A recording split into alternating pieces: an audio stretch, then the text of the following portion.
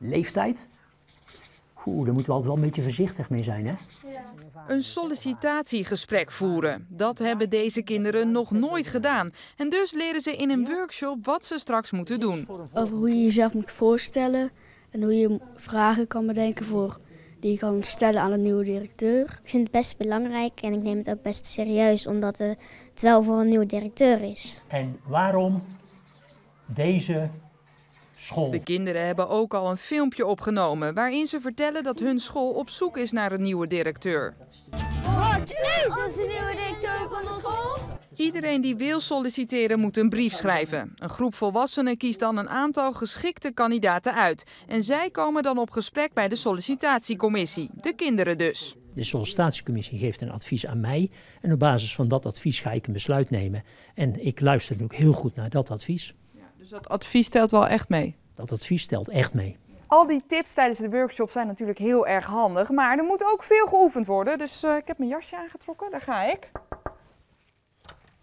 Hallo, ik kom solliciteren. Welkom op deze school. Dankjewel, Malou. Hier, u mag daar plaatsnemen. Oké, okay, netjes. Het gebeurt op steeds meer scholen dat kinderen meehelpen met beslissingen. Nou, goed ontvangst. Bijvoorbeeld als het gaat over nieuwe spullen, een schoolplein dat vervangen moet worden of zoals hier over leerkrachten.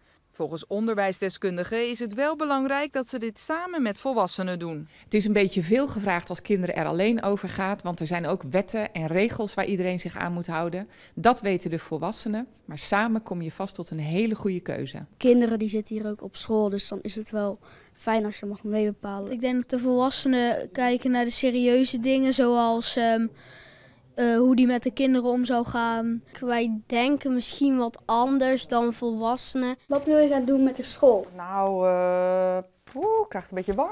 Nou, jullie, jullie, jullie zien wel dat uh, Malou heel zenuwachtig is. Wat zou je nu kunnen doen? Um, je hoeft niet um, zenuwachtig te zijn.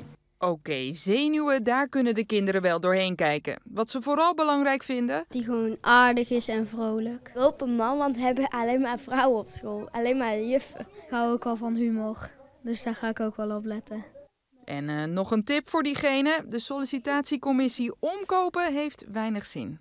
Nou jongens, en als jullie mij kiezen, nieuwe tablets, nieuwe school, elke dag uh, lekker snoep in de klas. Moet ook gewerkt worden. Oké, okay, dus dit gaat niet werken? Nee. Nee? Wel snoepje? Yeah.